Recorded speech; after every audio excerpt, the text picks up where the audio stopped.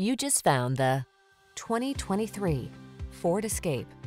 Take a closer look at this comfortable and capable Escape. This compact SUV is your calm, capable refuge in a hectic world.